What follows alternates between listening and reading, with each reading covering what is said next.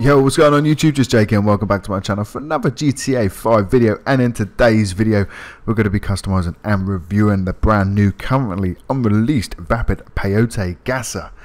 Now when you have a look at this bad boy you can obviously see that this is supposed to be a drag car. It is in the muscle category. It is going to cost you $805,000 on release. Uh, but you know it looks cool man. I appreciate a nice looking vehicle and this is definitely a nice looking vehicle. Nice addition to GTA it's very different to uh, most of the things we've already got in here. And as you can see it's definitely supposed to be a drag car because we've got big fat ass tyres at the back. It's got that lift on it. It looks awesome. It does look really cool. Um, for some reason I had to repair the vehicle. What's all that about? Weird as fuck. Anyway we're going to start this build as always with 100% body armor. We're going to get the race brakes then we're going to go to the engine. We're going to get the level 4 engine upgrade the exhaust we've got the oh so they don't change position but we've got the ceramic then we've got the chrome but they're a little bit shorter. Uh, the cramp ceramic short the chrome long uh, than the long versions and like the fucking bent versions of them and then the complete angles man, these exhausts, what's all that about? Give me some nice options. That's better. That's what I'm. That's more what I'm talking about. Some basic side pipes. At least it looks a little bit more like it's got an exhaust. They look awesome. The custom side pipe, they look cool. So the two side pipes, even though I'm not a massive fans of side pipes in general, uh, the two side pipes are definitely the best options in my opinion. And I'm going to go with the basic side pipes. I think they look a little bit nicer.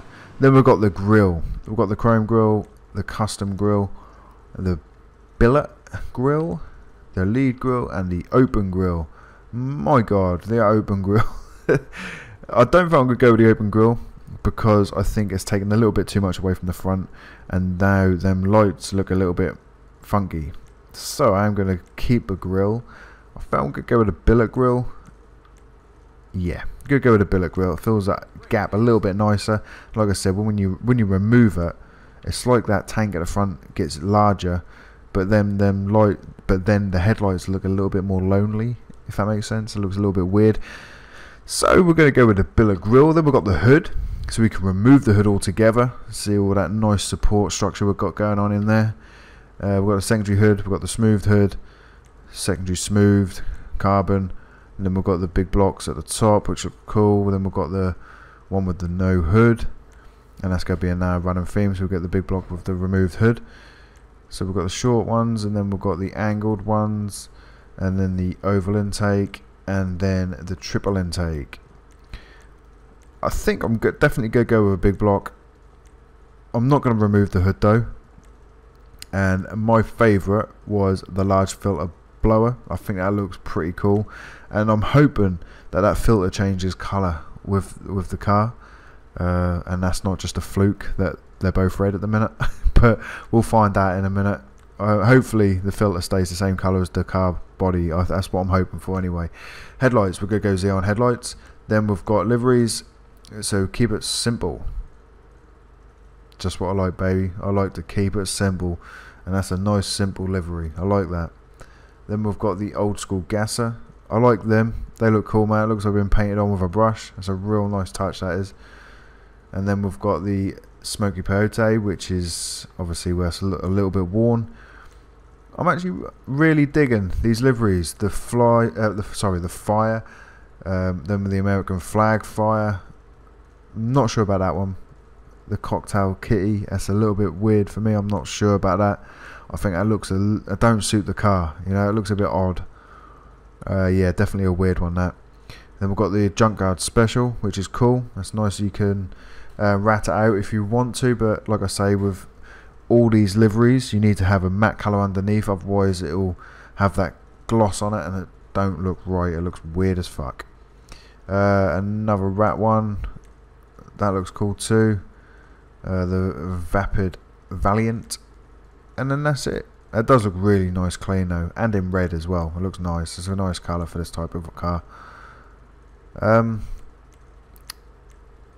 I actually really like this one, the old school gasser. That looks really smart, and because um, it's quite unique, and I don't think we've had anything like that on a livery before in the game. Like where where it looks like it's been paint like hand painted with a brush on there. Uh, I'm going to go over it because I think that looks fucking awesome. And then we're going to skip the plate. Respray. Primary colour. We're going to go classic. Red looks really good. You know, the, the colour that it spawned in. It looks really, really good. Um, but I kind of want to change it. I'm thinking... I don't even know what I'm thinking, man. Maybe an orange. Orange might be good. But then... I don't know. Yellow, maybe? Yellow looks cool. The gasoline green actually looks really nice. I like that. That looks cool, man. Let's have another look at the yellow. I think I'm swinging in favour of the gasoline green. I actually really dig that, man. I think that looks cool. Let's grab it. Classic gasoline green. Secondary. Go go classic also. Uh, at the minute it's the Torino red. But it's just the support struts or the cage or the scaffold and what you, if you want to call it underneath the hood. Um, we are going to change that up. The cast iron silver looks pretty sweet. Maybe if we go to metals, let's change it to maybe brushed steel. Um, aluminium, pure gold. What about chrome? Let's chrome it. So when we go chrome, it looks more black. What the fuck's all that about? That's weird, man. Why has it done that? So we are going to go over metal. Maybe brushed steel. Uh, the brushed aluminium actually looks quite good too. Um, I'm going to go with the brushed steel. Let's grab that bad boy. It looks pretty sweet. Roll cage. On a convertible, a roll cage is always a hit and miss. It's either going to look awesome or it's going to look absolute dog shit. Ooh. And it actually looks alright. You know, if it's just that little bit at the back, I can live with that. Even that, with the support struts at the back, it looks good too. Nice. I'm happy about that. I'm happy it's not gone... See, that's taking it too far. That's Man, that looks weird now. That's what I mean by hit and miss. This was a hit. That's a fucking miss, man. That looks shit. That has completely ruined the look of the car. In my opinion, anyway. I do like the old school seats in it, but I also like the roll cage at the back. And I love the bucket seats edition in there as well. I'm not sure if I want the performance one or the sports one. I'm, I'm yeah, I think I'm going to go performance. But maybe the performance with the race seats because you get these bigger bolsters on there and it's a little bit higher. I think that looks pretty cool. So I'm going to go with the cage with the race seats. Uh, roof. Oh shit, man. You can put a roof on it. So maybe the full roll cage actually might go okay on this. I take that back slightly.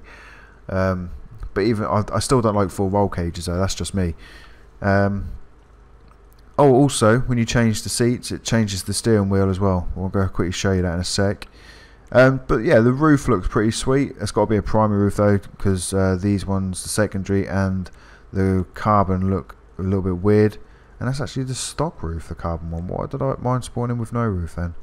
That's weird. Um, but I'm to keep it convertible. I think it looks cool. Competition suspension. Do I? Oh my god. I think I do, you know. I think I do what a competition suspension. That Let's do it. What the fuck not? Transmission, race transmission, turbo tuning, wheels. Now, is this going to change in both or just the front ones? Because obviously they're both the same rim at the moment, but quite evidently different sizes with different tyres. And it just changes the front one. So I'm definitely not going to be changing that because why would you want odd rims? I know we've got odd tyres at the moment, but why the fuck would you want odd rims? That doesn't doesn't make any sense. So we're going to skip the wheels. Uh, then we've got window tint, but we ain't got any windows, so we're going to leave that as none. And that's it, my dudes. That is uh, the build on the Vapid Peyote Gasser. And I actually really like the look of it. You know, it's not always my kind of thing, this old school look. Oh my god, and it sounds amazing. Oh my god, it sounds like a fucking demon from hell. Oh my god. Hopefully this is going to be fast. It is in the muscle category. Um, and that sound, it sounds awesome. I don't know if you can hear it on the um, on my gameplay, man, but that sounds amazing. sounds really good. So it's very torquey. As you can see, we've got quite a lot of wheel spin, but it's definitely quick. This is a muscle car, don't forget. And in a straight line, that actually feels real fast. Um, steering is really heavy, really fucking heavy. Struggle to get around that corner, but it holds in. I mean, you can stick it in the corner and it's not spinning, so it's very grippy. which is awesome. That's really good. Um, it's really fast. It's it's, um, it's the only downside in the performance, from what I can gather, is just the heavy steering. Other than that, man, it feels awesome. Yeah, yeah. Other than that, it's just literally just the heavy steering is the downside in the performance, in my opinion. It feels really fast. It sounds amazing. It's really good. It's sticking to the road like nobody's business, man. It is awesome. But it's just that steering. It's really heavy. It's going to struggle going around corners, I think, in, in like a race situation. I mean, look at that. I'm full over on the analog stick and it just struggles a little bit. It just feels quite heavy.